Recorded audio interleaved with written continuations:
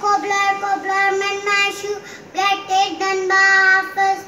Shit it up and sit it down, then I will give you half a crown. Thank you.